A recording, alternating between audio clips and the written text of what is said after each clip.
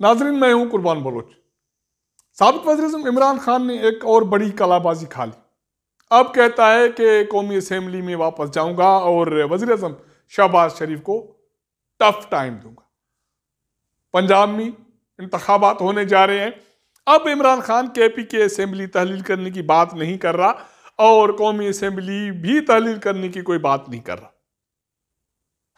सिंध के बलदियाती इंतबात में कराची डिवीज़न में पीटीआई की तीसरी पोजीशन है। पाकिस्तान पीपल्स पार्टी शहीद भुट्टो के बाद पहली मरतबा टॉप पर है और दूसरे नंबर पर जमायत इस्लामी है। यहाँ मुकाबला होगा मेयरशिप का। लेकिन इमरान खान कहते हैं कि मेरा मुकाबला फ़िलहाल मुस्लिम लीग नून से है और मुस्लिम लीग नून मुश्किल मरहले में है।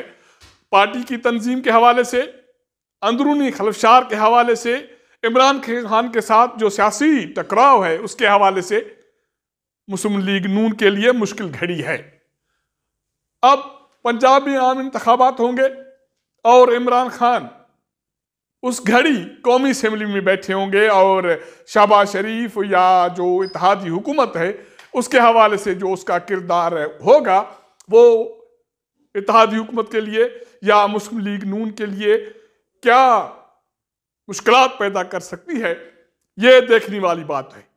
क्योंकि मेरे ख्याल में इमरान खान फ़िलहाल जब तक पंजाब में इंतबात के हवाले से या वफाक के हवाले से या कौमी असम्बली के इंतबात के हवाले से या ज़मनी इंतबात के हवाले से जो सूरत हाल साफ़ नहीं होती, तब तक के पी के असम्बली तहलील नहीं करेंगे। ये उसका अहम मोर्चा है। वहाँ वो बैठेंगे कौमी असम्बली में तहरीक इंसाफ की नुमाइंदगी होगी। आप अंदाज़ा करें कि 120 के लगभग लोग तहरीक इंसाफ के जब कौमी असम्बली में वापस आएँगे और एम क्यूम की नाराज़गी मौजूद है इतिहादी हुकूमत के हवाले से शहबाज शरीफ के हवाले से हालाँकि फ़िलहाल उन्होंने अलहदगी का ऐलान नहीं किया लेकिन उनकी नाराज़गी उनका आ, वापस आना और उनके तहरीक में या इतिहाद में बैठना बहुत सारे सवाल या निशान हैं। अब फ़िलहाल सिर्फ़ पंजाब में आम इंतबात होंगे और अगर आइन के मुताबिक मौजूदा हालात में कौमी असम्बली तहलील नहीं होती के पी ए असम्बली तहलील नहीं होती और सिंध असम्बली बलूचिस्तान असम्बली वैसे भी कायम व दायम हैं तो पंजाब में इंतबात में बड़ा मला खड़ा लगेगा। अहम फरीकैन है। तहरीक इंसाफ इमरान खान, उनके साथ काफ लीग और काफ लीग भी मुस्तकबिल में रहे ना रहे, क्योंकि वज़ीर अला परवेज इलाही की तरफ़ से या काफ लीग की तरफ़ से यह फैसला सामने आ रहा है कि काफ लीग तहरीक इंसाफ में जिम होने जा रही है। काफ लीग के बानी चौधरी शुजात हुसैन ने इस अमल के हवाले से परवेज इलाही को शोकाज नोटिस जारी किए हैं और उनकी मेंबरशिप फ़िलहाल मुअत्तल की है, लेकिन चौधरी शुजात हुसैन के पास मौजूदा हालात में है क्या?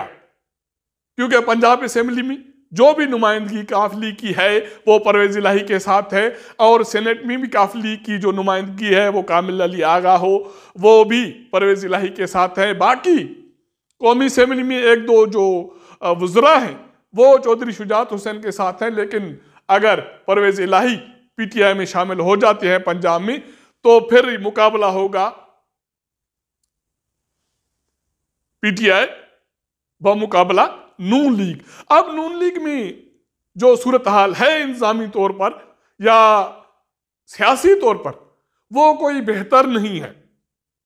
बताया जा रहा है कि फ़िलहाल सबक वजी अजम या नून लीग के कायद मियाँ नवाज़ शरीफ वतन वापस नहीं आ रहे। मरियम नवाज़ वतन वापसी के लिए तैयार है, लेकिन जब से वो पार्टी की सीनियर नायब सदर मुकर हुई है या चीफ ऑर्गेनाइजर, नामजद किया गया है, पार्टी में एक हल्फशार की सूरत हाल है।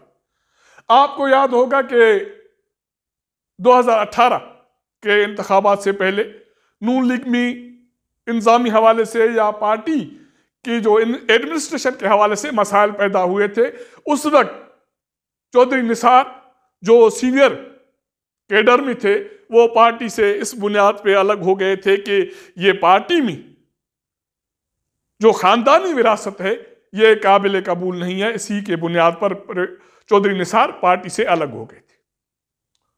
अब जब से इतिहादी हुकूमत बनी है, सबक वज़ीर शायद खाकान आबासी पार्टी से नारा नाला है, नाराज़ हैं। वो इमरान खान को तो तनकीद का निशाना बना रहे हैं, लेकिन पार्टी के गवर्नमेंट को किसी हद तक, बड़े हद तक डिफेंड नहीं कर रहे।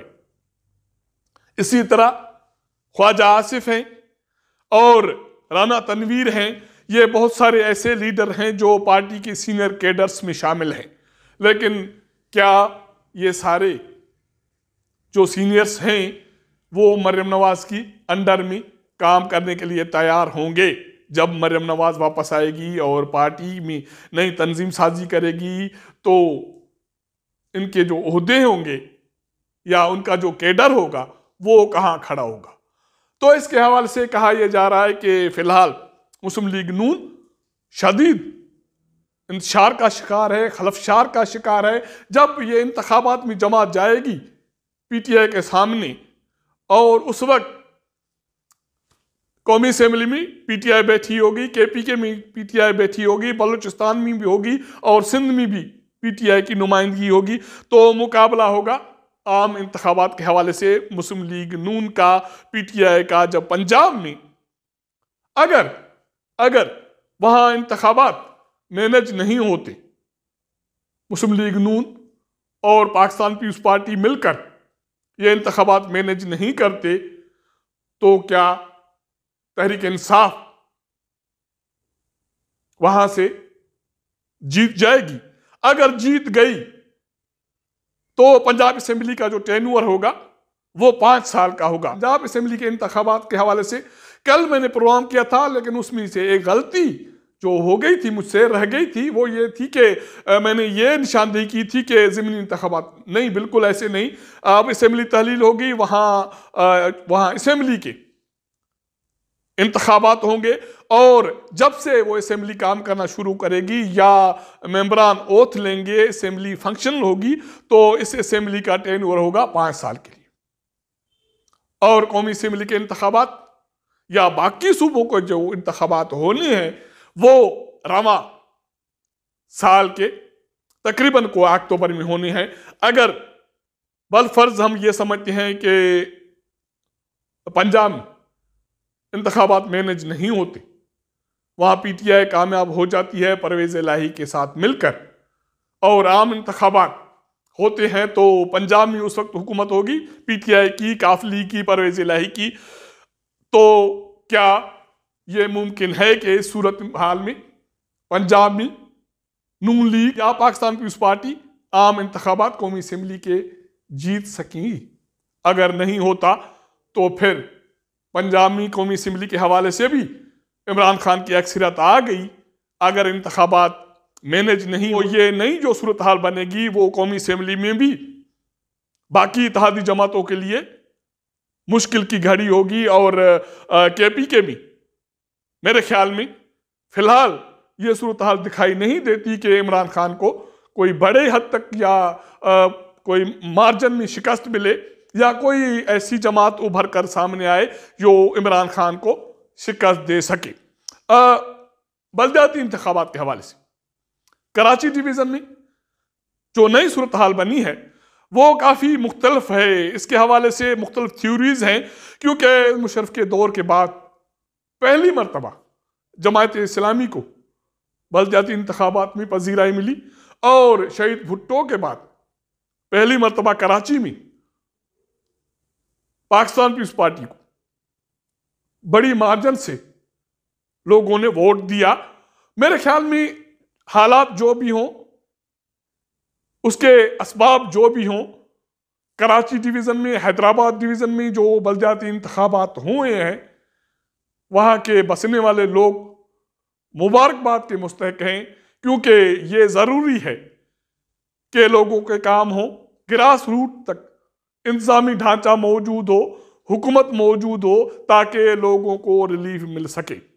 लेकिन मेरे ख्याल में कराची के बलदियाती इंतबात में पीटीआई की जो नुमाइंदगी सामने आई है, इस वक्त तीसरे पोजीशन पे है।